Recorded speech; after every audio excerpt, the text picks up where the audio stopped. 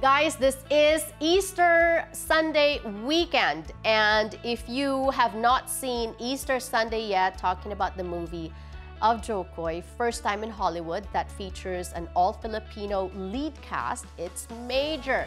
We need to support, we need to show Hollywood that we want to see more movies like this. So please go out to the theaters and watch Easter Sunday. It opened last Friday August 5th, uh, opening weekend is very critical to any movie, and even LDP. Lou Diamond Phillips knows all about that because he's been in the business for many, many years, even before Hollywood started talking about Asian representation. A lot of people actually thought or maybe even think that he is Hispanic because of his stellar role in La Bamba. But yes, he is Filipino, and in fact, he talks to us about what makes him so Pinoy. TFC, the Filipino channel? Yes. Oh, my, my mother's gonna be watching this. Yay! Congratulations. Lou, how has Hollywood changed from the time you were starting? well, first of all, we have a Filipino movie. exactly. you know, uh, it's. I tried to do one. I tried to do one way back in 1990 uh, uh, when I uh, wrote Ambition.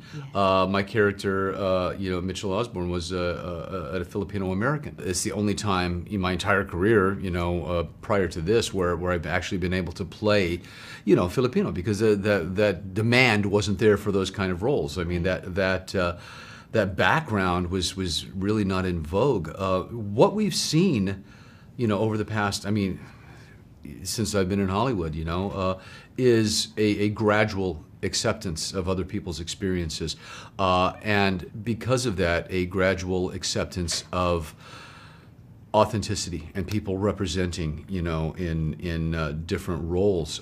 Uh, I've I've been very very fortunate uh, in, in the respect that I've represented so many communities, because back when when I started, there was a dearth of actors of color, uh, you know, whether that be Asian or or Latino or you know any mix thereof, uh, and uh, so I was often called, you know, to, to be the face, uh, you know, of a different community. I've always been very proud that, you know, the Native communities and the, the uh, Latino community have embraced me and accepted me and uh, uh have been appreciative of the way I've represented them.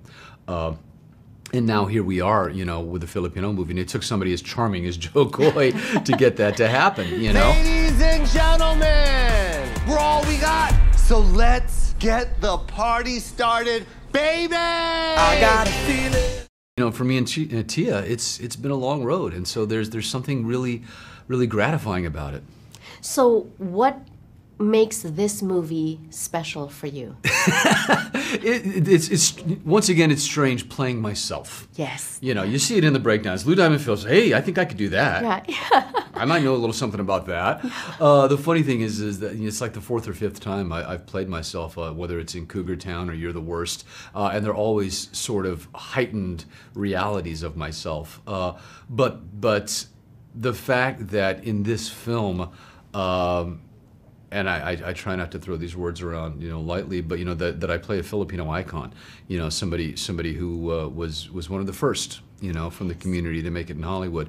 Uh, I'm, I'm very proud of that, you know, and and Jo Koy has been ridiculously gushy about you know what it meant to him, and that means a lot to me. It means a lot to me that he really wanted me to be a part of this film, uh, and that uh, you know uh, I, I, I don't know. I could I could be there to pass the torch. Right. So, what was the most amazing meal you've had during filming of the show? The See, this is what this is the shame.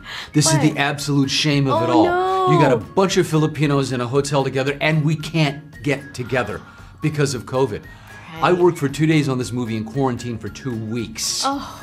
Grubhub was my friend. Right. You know. So no so, lumpia and pancit. No, no, no, no lumpia, no. I mean, and I, I was so looking forward to an adobo cook-off with Jo Koy.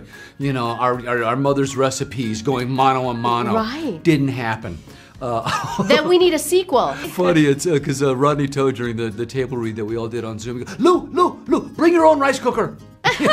so, so, you know, we would we would yell at each other through the door. Lydia, Lydia Gaston, uh, who plays his mother, uh, she was one of my royal wives in The King and I on Broadway in '96 and '97.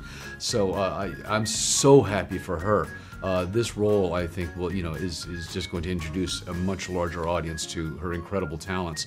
But she would bring me mangoes from the market because I wasn't out of quarantine yet. She would bring me mangoes from uh, uh, the Granville Island uh, market and leave them outside my door for me.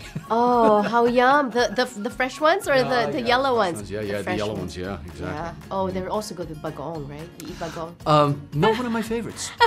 that, that and patis are just, they're not quite on my palate. Too salty. Just a little bit. Too fishy. Yeah, just no. a little. Okay, well, all right. So the show is called So Jannelle. So we talk about things that are so candid, so hot, so upcoming, because that's my name. Okay. And so, what makes you so Pinoy? Uh, oh my goodness. Um, I mean, well, certainly the fact that, that adobo is is not only uh, uh, one of my family's favorites, but you know, my white wife makes it now, and uh, Indigo it's her favorite. My daughter Grace apparently, uh, you know, makes an incredible uh, uh, adobo, and uh, she was on the Cleaning Lady. We, she played my daughter. You know, all, another Filipino-centric show, which was fantastic.